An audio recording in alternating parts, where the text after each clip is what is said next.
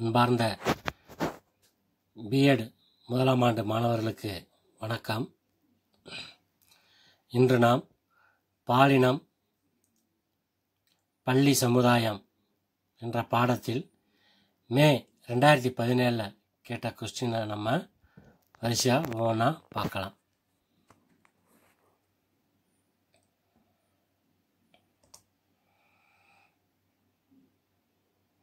So ரெண்டாயிரத்தி பதினேழு கேட்ட முதல் question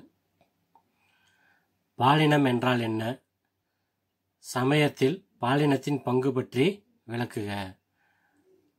What do you mean by gender explain the gender full in religion so இதுக்கு ஆன்சர் நம்ம பார்க்கலாம். ஸோ ஃபஸ்ட்டு பாலினம்னா என்ன? டெஃபனிஷன் சொல்லணும்.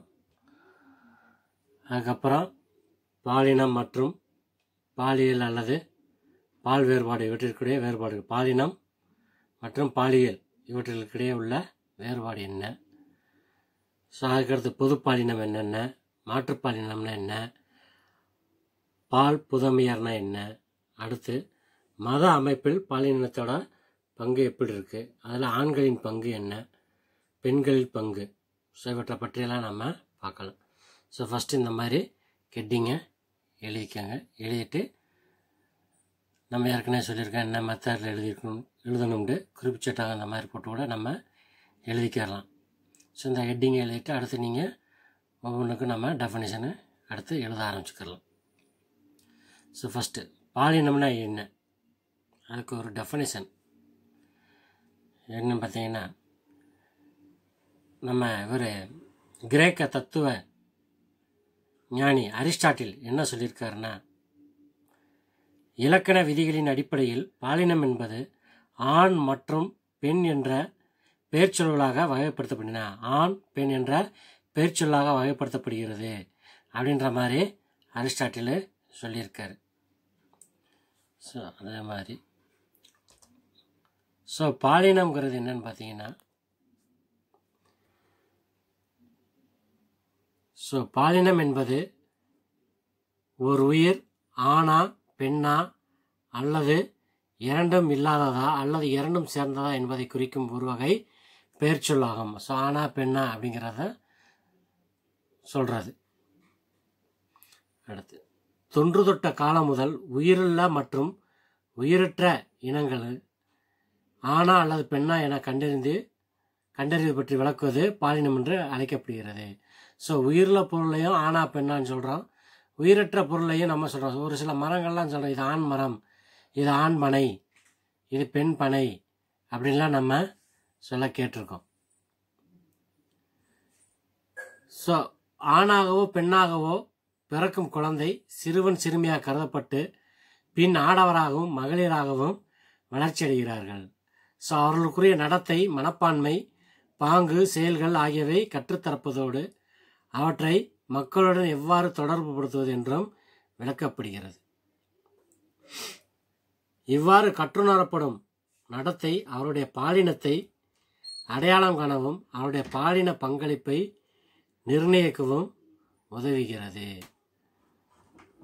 ஸோ இங்கே பேர்ச்சொற்களான என எப்படி சொல்கிறாங்க ஆண்பால் பெண்பால் மத்திப்பால் மற்றும் பலர்பால் என்ற பாலினங்களாக பிரிக்கிறாங்க. ஸோ பாலினம்னா என்ன? முதல்ல அரிஸ்டாட்டில் சொன்ன டெஃபினேஷன் எழுதிட்டு. ஸோ பாலினங்கிறத ஆணா பெண்ணா அப்படிங்கிறத பேர் சொல்ல மூலியமாக சொல்கிறாங்க ஸோ ஆரம்ப காலத்துலேருந்து உயிருள்ள பொருளுக்கும் உயிரில்லாத பொருளுக்கும் பாலினம் இருக்குது ஸோ பிறக்கிற குழந்தைய வச்சு பிரிக்கிறாங்க. ஸோ பெண்ணா அப்படிங்கிற பிரிக்கிறாங்க. ஸோ குழந்தையில வந்து சிறுவன் சிறுமின்னு சொல்கிறாங்க பெரிய ஆள் ஆனோடனே ஆண் பெண்ணுண்டு பிரிக்கிறாங்க. ஸோ இந்த மாதிரி சொல்லியிருக்காங்க.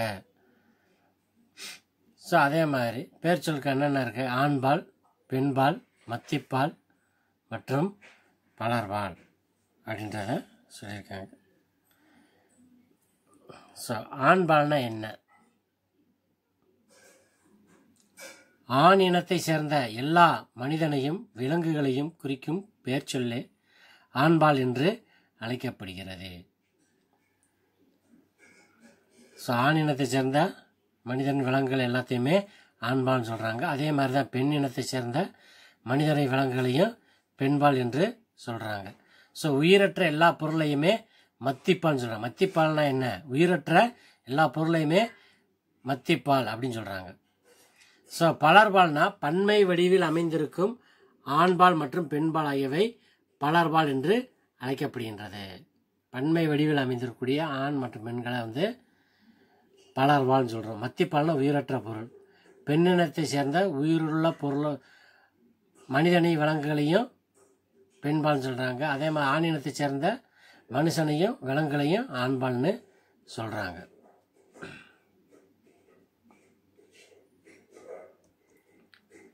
பாலினத்தை பற்றி எழுதியாச்சு. அடுத்து பாலினம் மற்றும் பாலியல் அல்லது பால் வேறுபாடு. இவற்றிற்குரிய வேறுபாடு. ஸோ பாலிய பாலினம்னா என்ன? பாலியலுக்கான வேறுபாடு. ஸோ பாலினங்கிற சொல் எதுலேருந்து வந்துச்சுன்னா ஜீனியஸ் ஜீனஸ் என்ற லத்தீன் மொழியிலிருந்து வந்தது. பின்னாடி அது ஜெண்டர்னு ஆங்கில சொல்லாக மாறியது. அப்படின்னு சொல்கிறோம் ஸோ பாலினம் என்பது வேறு பாலியல் என்பது வேறு. ஸோ பாலினங்கிறது வேற பாலியலுங்கிறது வேற. ஸோ இதில் வந்து பாலினங்கள் பார்த்தீங்கன்னா ஆண் பெண்ணை தவிர்த்து இருபதுக்கும் மேற்பட்ட பாலினங்கள் இருக்குது ஸோ ஆண் பெண்ணை தவிர்த்து இருபதுக்கு மேற்பட்ட பாலினங்கள் இருக்குது ஸோ பாலினங்கிறது ஜெண்டர்ஸ் பாலியல்ங்கிறதே செக்ஸுவாலிட்டி ஸோ செக்ஸுவாலிட்டி என்பது யாரிடம் அல்லது எந்த பாலினத்தினரிடம் நீங்கள் பாலியல் நாட்டம் கொள்கிறீர்கள் அல்லது கவரப்படுகிறீர்கள் யாருடன் உங்கள் பாலியல் எண்ணங்கள் உள்ளது? ஸோ என்பதை பற்றி குறிக்கிறதா? அது பாலியல். பாலினம்ங்கிறது ஆண் பெண் ஜெண்டர்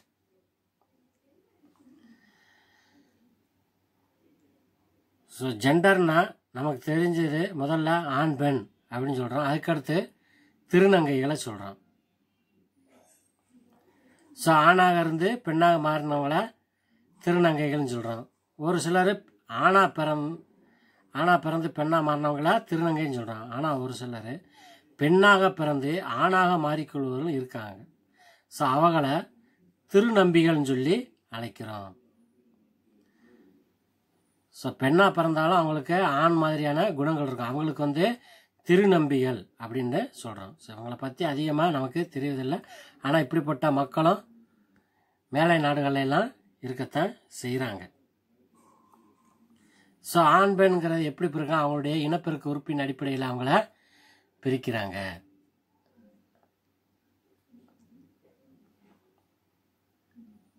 ஸோ ஆணுன்னா இப்படி பெண்ணன்னா எப்படி அப்படிங்கிற மாதிரி சொல்கிறாங்க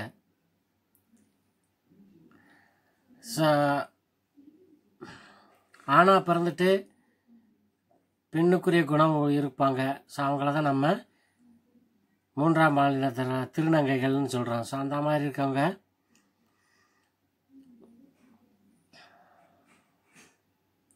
அதுக்குரிய அவங்களாம் என்ன பண்ணியிருக்காங்கன்னா ஸோ ஆணாக பிறந்து பெண்ணாக முழுமையாக மாறுகிறவர்கள் ஸோ இனப்பெருக்க உறுப்புகள் மட்டுமின்றி முழுவதுமே பெண்ணாக மாறுவது இப்படி போன்ற பிரிவுகள் கீழெல்லாம் அவங்க வர்றாங்க.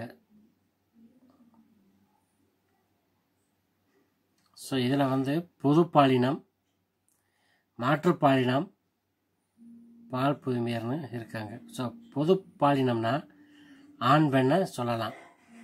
மாற்றுப்பாலினம்னா திருநங்கை திருநம்பி. ஸோ பால் புதுமையர் அப்படின்னு பார்த்தீங்கன்னா அதில் நிறையா சொல்கிறாங்க பால் புதுமையார்னு.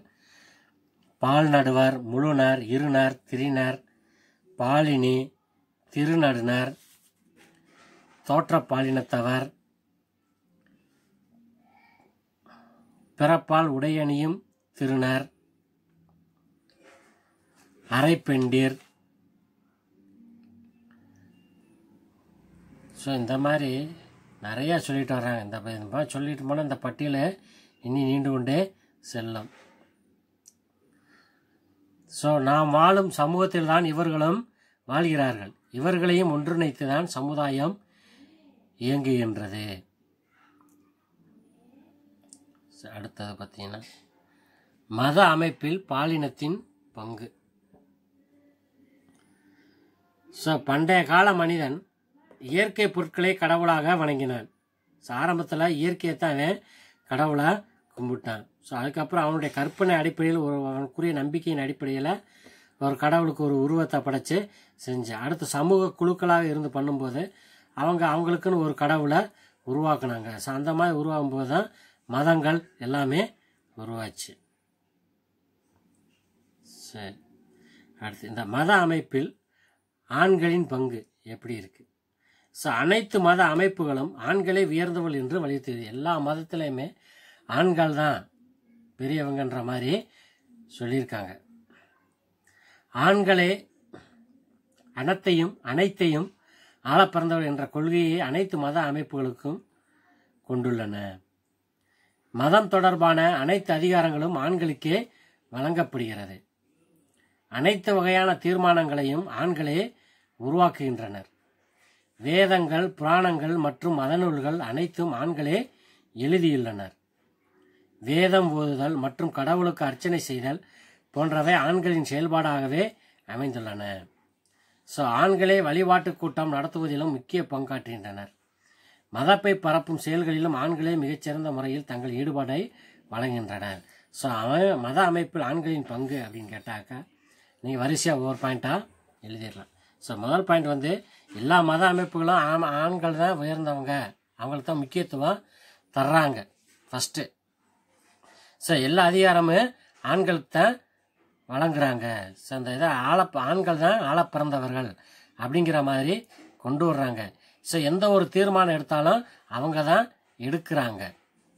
ஸோ எந்த வேதங்கள் புராணங்கள் பார்த்தாலும் மத நூல்களை பார்த்தாலும் ஆண்கள் தான் அதை எழுதியிருக்காங்க. ஸோ கோயிலில் வேதம் ஓதுறது அர்ச்சனை செய்கிறது எல்லாமே ஆண்கள் தான் செய்கிறாங்க ஸோ ஆண்கள் தான் வந்து வழிபாட்டு கொடுத்துல முக்கிய பங்கு வகிக்கிறாங்க. ஸோ அந்த மதத்தை பரப்புவதில் ஆண்கள் தான் மிக அதிகமான ஈடுபாடு கொண்டு செயல்படுகின்றனர். ஸோ இந்த மாதிரி நம்ம சொல்லிக்கிறலாம்.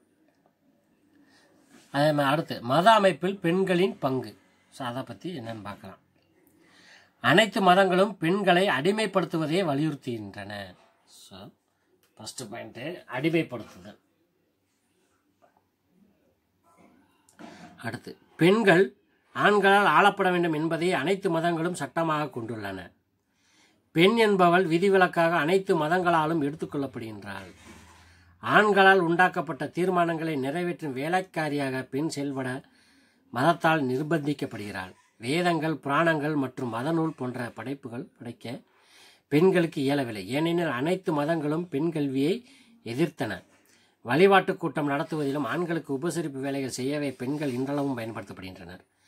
மதங்களை பரப்புகின்ற செயலிலும் ஆண்கள் ஆண்களுக்கு பெண்கள் ஆண்களுக்கு துணையாக இரண்டாம் கட்ட நிலையிலே செயல்படுகின்றனர். மத அமைப்பில் பெண்களின் பங்கு அப்படின்னாக்கா ஸோ ஆண்களுக்கு அதுக்கு ஆப்போசிட்டாக அப்படியே சொல்கிறீங்க ஸோ எல்லா மதத்துலேயும் பெண்களை வந்து அடிமைப்படுத்துகிறத வச்சு அடிமைப்படுத்தி தான் வச்சுருக்காங்க. ஸோ ஆண்கள் தான் முதல்ல ஆளணும்னு நினச்சிக்கிட்டு இருக்காங்க. சரியா? அடுத்த பாயிண்ட் என்னாக்கா? எந்த ஒரு தீர்மானத்தை வந்து இவங்க நிறைவேற்றினாலும் அதை செயல்படுத்தக்கூடிய வேலைக்காரியாகத்தான் பெண்கள் இருக்கிறாங்க. ஸோ பெண் கல்வியை வந்து மேக்சிமம் எதிர்க்கத்தான் செய்கிறாங்க ஸோ இந்த வழிபாட்டை சாமி கும்பிட்றது செய்கிறதில்ல இவங்க இருந்துட்டு இவங்க தான் போதுவாங்க செய்வாங்க. பட் இவங்க வந்து வேலை செய்கிறதுல தான் இவங்கள பயன்படுத்திக்கிடுவாங்க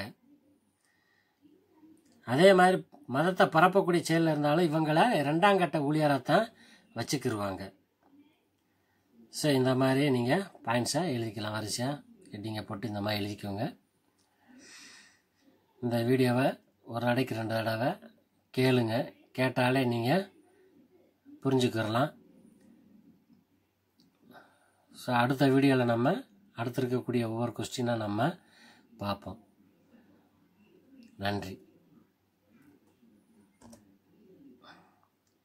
மாணவர்களே இந்த தகவல் தங்களுக்கு பயனுள்ளதாக இருக்கும் என நம்புகிறேன். நன்றி. வணக்கம்.